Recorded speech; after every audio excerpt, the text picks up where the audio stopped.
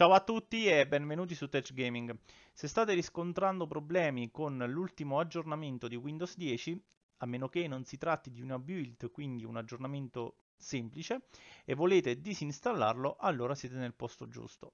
Come fare? Andate su Start, Impostazioni, andate su Aggiornamento e Sicurezza, visualizza cronologia degli aggiornamenti, disinstallare gli aggiornamenti. In questo modo avete sotto controllo tutti gli aggiornamenti che sono stati scaricati e installati nel sistema. Quindi potete selezionare l'aggiornamento che vi sta creando problemi e cliccare su disinstalla. Naturalmente nel caso in cui Microsoft abbia ritirato l'aggiornamento per fissarlo, quando verranno scaricati nuovi aggiornamenti non sarà presente. Ma se l'aggiornamento non è stato ritirato, disinstallandolo e Verificando la disponibilità degli aggiornamenti verrà nuovamente individuato, scaricato e installato. Quindi se riscontrate problemi, disinstallate l'aggiornamento che vi sta creando problemi e attendete un fix o comunque un nuovo aggiornamento da parte di Microsoft.